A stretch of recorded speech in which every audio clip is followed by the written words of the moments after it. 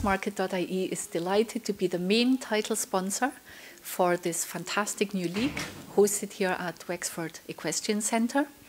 We think that the Stepping Stones to Success League gives young horses a great chance to shine and it encourages the producers of these quality horses that we always like to see for sale on our website. So best of luck to all competitors over the next five weeks. I came to see the facilities and I think it's absolutely fantastic. Uh, the, the, cross country is, is, a real innovation for the all-weather surface that it provides and uh, it, it's a great concept. I mean young event horse classes are becoming uh, an important part of the year's program and producing them and um, it's, it's, it's, it, bodes, it bodes strong for our sport for the future very impressed today with the facilities and, and the setup. So looking forward to getting the young horses out and getting a bit of mileage into them. I've made a decision a little while ago that I'm going to have a bunch of young horses to produce, but I'm going to um, educate them a little bit more in their younger years and then event them then mostly sort of at the back end of their five year old and then six year old year. So this is a perfect opportunity now to get the five year olds out and sort of give them a bit of education and then it'll leave them ready for the autumn time to do a few events. Yeah. I mean, we had Camilla and we've had Mark here today as well and I mean they've noted that you know the the, the the, the, the quality of the fences and the course. It's a good question. I mean, the water complexes, it really does ask good questions of the young horses, but not too too demanding. Encouraging. Yeah, it's encouraging you know, the, a horse would want a little bit of mileage before it come. You know, that's basically the same with anywhere. But what it does is for the horses, even if they have a little blip or a mistake, it, it sort of you get to know them a bit more, and it, it you go away with a bit more of a goal really for them, and it's sort of up to the individual rider how much pressure to put on those horses themselves. You know, for me, I don't mind them make a mistake. You know, I'm looking at the bigger picture. Some people want to win every day out, so it, it just depends on on the person. But you know, looking at the course today, I think it looks lovely. It's educational. There's a few show jumps. It it gives you a chance to feel if the horse are thinking careful and um, and looking forward to the day ahead now. I think that um, the new Stepping Stones to Success series is going to be hopefully a great success. Um, it's early in the season so for some of the young horses and it's great to see that the fences are quite small and the course is fairly tame to start off with. I think Ola's plan is to increase the um, difficulty of the course as the weeks go on. So hopefully we will see our young horses really progressing over the weeks. Um, I think we've seen a diff lot of different types of horses and a lot of different levels of training. Um, and hopefully at the end of the few weeks of this, we'll see some consistency and we'll get some great young horses from it. I think the facilities are first class. Um, to do the dressage in the indoor, I think at this time of the year for these young horses is great. Given the day that we have today with the wind, the high winds and the rain, um, I think it would have been quite difficult to control these young horses outside and not having to stud them up, not having to put them under extra pressure, I think, is a great advantage for them. Um, we've got a bit of atmosphere indoors, we've got people watching, there's music playing, which again is great for the young horses, um, but a little bit more peace and quiet than if we had to be outside. Um, the cross-country facilities, it's great that it's on all weather. Again, a confidence thing for the young horses. Very easy at this time of the year when the ground can be very inconsistent to knock a young horse's confidence. And I think to be able to go out there, jump on consistent going, nice small fences with lots of space in between can only be of benefit to these young horses. Um, certainly, I've only ridden one horse myself so far today, but I've had a couple of horses already out there with other riders, and I can see how from the first fence they've grown in confidence, and um, they certainly looked a lot better finishing the course than they did starting. Um, happy with the calibre of judges. It's great to have an Olympian like Mark Kyle that's given an opinion on your horse. Obviously, he knows what he's looking for. He's ridden horses at the top level. And to have Neil Fern out there for the jumping, giving us some tips, has, has got to be great.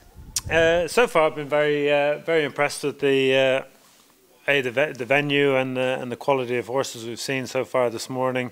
Um, you know, right, they've been uh, a little bit green, but you would expect them to be this stage of the year as, as four-year-olds, and, and the weather's not uh, not the best, so the elements are against them a little bit. But no, very very impressed with what we've seen so far. The quality is very good, and there's some some very nice horses there.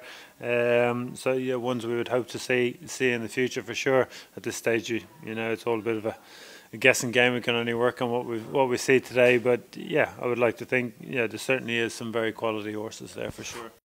Today I've just come down to watch to see what it's all about. As you know, I've done all the FEHL in Dublin and all that, and I was very interested to see how this goes. Um, I'm probably going to have maybe six or eight horses to come down here, um, four and five year olds. So just to see what we're expected to do to walk the course, and it looks amazing. It looks really good. Richard, you're down here today. What takes you down to Wexford? Okay, just to have a look at the competition in general here today and have a look see if there's any horses to buy. Um, we'll probably ring some horses here in the next couple of weeks ourselves, so to get a look at the see, see what it's all about. Like you would buy a good few young horses around the country in Goresbridge, and you would see this as a concept of producing and developing them. Absolutely, uh, a good format for young horses. Yeah, absolutely. It looks looks a good track. Looks nice and inviting. Not not too much of an ask, which I feel sometimes is some of the some of the classes can ask a bit much, especially of the four-year-olds. It looks nice and kind. If your horse is prepared, he should go around. Yeah.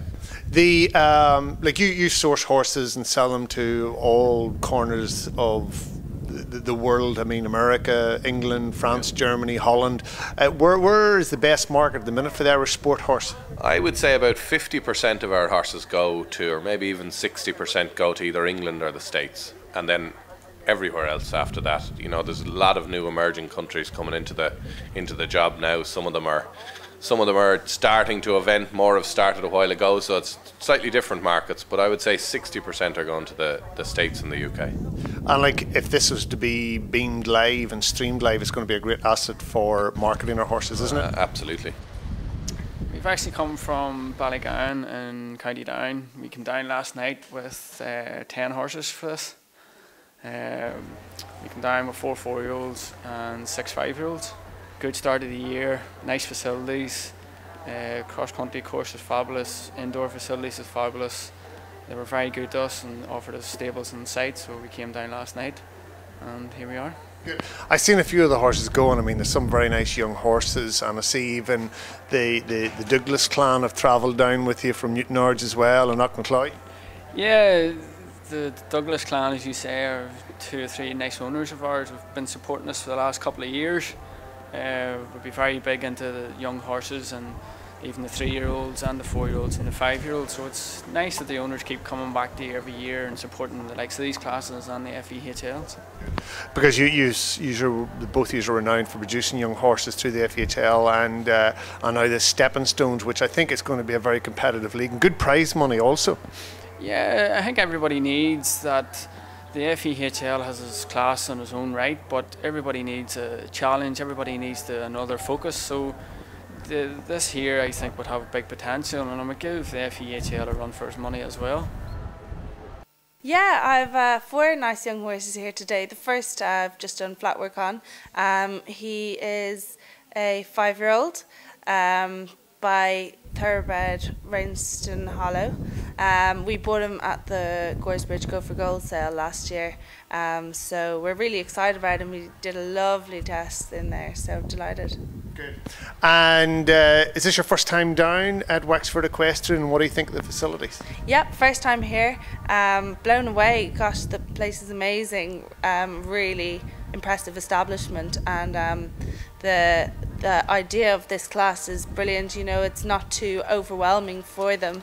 Um, nice natural fences along with some nice, you know, uh, small show jumps just to sort of get them into the swing of eventing. So, so hopefully something. It's a great step. As I, say, I think it's well named the stepping stones. It's a good stepping stone. So maybe an Olympic horse coming from Ireland.